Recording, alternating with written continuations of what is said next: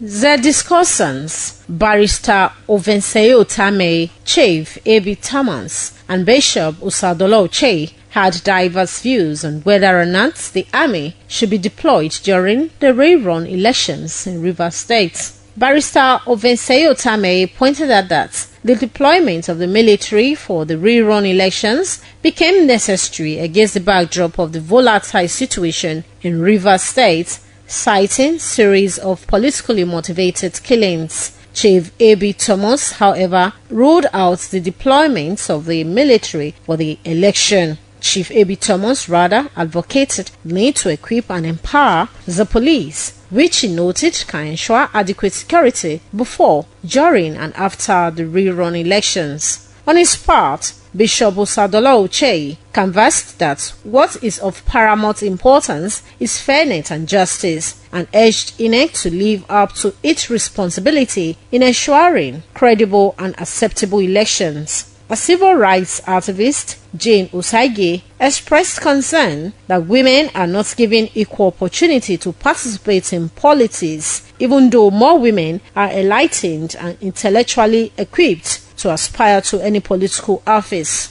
We're practicing a true federalism. Because we're not practicing true federalism, every party wants to be at the power, at the seat of power in Abuja. There should be a kind of decency in the management of the political crisis between these two gentlemen who have at least attained such status of governor and ex-governor. One will expect for fairness for justice, for equity, for transparency, that INEC should look into these allegations. Whether they are true or not, we will continue to be equal but we are different. No woman wants to be a man. There's joy in being a woman. But I want to contribute, like I said before. Nigeria cannot fly. If the Nigerian Airways or any of the planes has only one wing, it cannot leave the ground. And that is why we are not developing.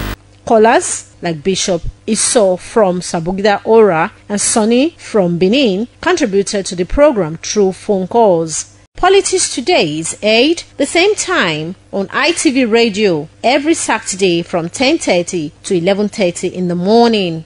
Deborah Ubefun reporting.